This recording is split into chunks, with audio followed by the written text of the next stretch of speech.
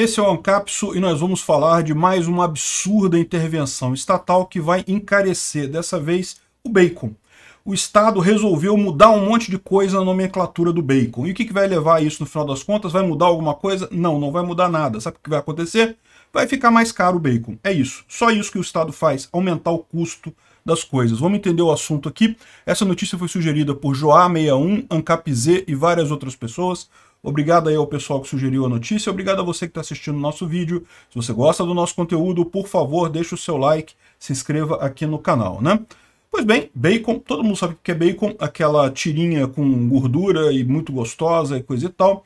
E o que, que acontece? É, o governo resolveu é, se meter nesse assunto, um assunto que ninguém estava reclamando, não era problema de ninguém, mas é o que eu falo para vocês os funcionários públicos eles sentem aquela necessidade de provar que eles servem para alguma coisa, fica inventando essas normas idiota que não ajuda absolutamente ninguém, ninguém ganhou nada com isso, ninguém. É, é aí o que eles fizeram aqui? Agora não, para ser chamado de bacon tem que ser o da barriga do porco. Tem que ser o da barriga do porco. Se não for da barriga do porco, é, tem que ser bacon de o tipo de carne de onde foi feito o bacon, né? E lembra, a barriga do porco é a parte menos nobre mesmo, no final das contas. Ou seja, é, o bacon de alguma coisa, no final das contas, acaba sendo mais nobre, digamos assim, do que o bacon normal, que é, pode ser chamado de bacon agora, né? Aí você fala assim, não, gostei, porque agora eu fico sabendo se é o bacon de verdade, se não é um bacon falso, feito com outra parte do, do porco e coisa e tal, e não sei o que lá, não gostei disso daí. Cara, presta atenção, qualquer pessoa consegue perceber pelo tipo do bacon, qual bacon que ele é. Esse tipo de coisa não ajuda em absolutamente nada o consumidor, mas prejudica o consumidor. Por quê? Porque isso agora vai implicar em custo. Que tipo de custo que implica isso daí? Bom, a pessoa que a, a, a fábrica que fazia cortes, que usava outras partes para complementar o bacon dela, agora vai ter que vender com outro nome, então vai ter que encarecer os produtos no final das contas. Isso implicou em um custo. Outra coisa que acontece nesse caso aqui, né? Você tem agora uma insegurança jurídica a empresa tem um risco agora de algum fiscal maluco aí, algum consumidor maluco, entrar na justiça alegando que o bacon não é bacon, o que você chamou de bacon não é isso daí. Então, com isso, é, é o que eu falo para vocês, toda norma, toda lei, ela tem um custo. Não existe nenhuma lei que o cara escreveu lá no, no pedaço de papel, isso não vai custar dinheiro. Tudo que o governo faz custa dinheiro. Toda vez que alguém escreve um pedacinho de papel lá, faz uma lei, inventa uma porcaria dessa, o que, que vai acontecer? Isso vai representar custo. E alguém vai ter que pagar esse custo.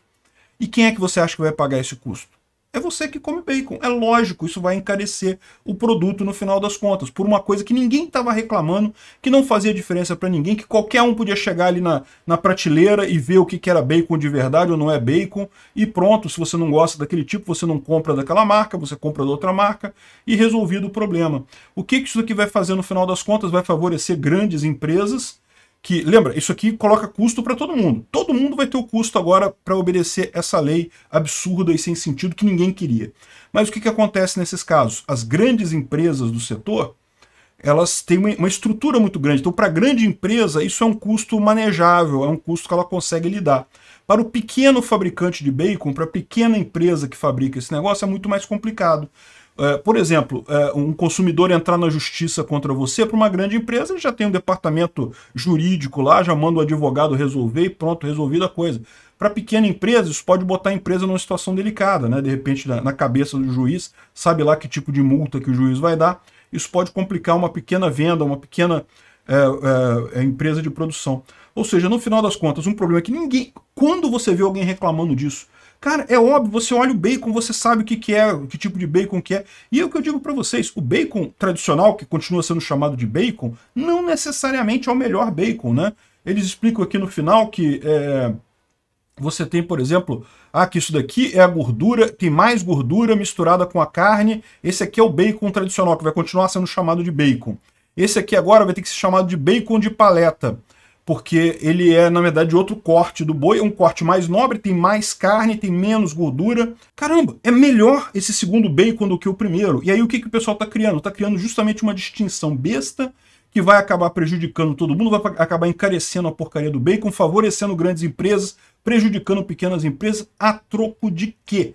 A troco da porcaria do burocrata que fica sentado numa merda de uma cadeira, não sabe produzir uma porra de bacon, se pelo menos fizesse um bacon com ele, já seria um ganho maior para a humanidade do que ele ficar rabiscando besteira em papel, né? E aí pronto, ah, quer mostrar serviço, quer dizer que serve para alguma coisa, vou fazer uma canetada aqui. E esse pessoal falta o grande problema, é o que eu falo para vocês, o brasileiro acha, não, achei ótima a lei, que bom, que bom que tem a lei, porque agora eu vou ficar sabendo se é bacon de verdade, não sei o que lá. Que lorota isso, cara, lei, toda lei tem um custo, para para pensar, a ideia do pessoal é que não, a lei vai resolver o problema e não vai custar nada. Não existe isso, toda lei tem um custo. Toda vez que o burocrata lá de Brasília inventa uma merda qualquer, você vai pagar por essa merda. Pode ser pouca coisa, pode ser alguns centavos só a mais, mas você vai estar tá pagando por causa dessa porcaria que ninguém precisava.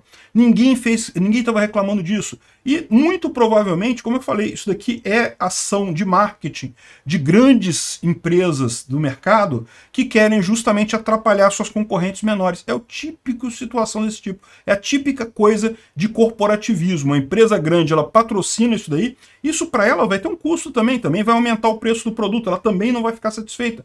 Mas é aquele negócio, como ela é uma empresa grande, ela consegue suportar aquela regulamentação. E aí você abafa as empresas menores. E agora que não tem mais as empresas menores, ela pode vender o produto dela mais caro porque tem menos concorrência.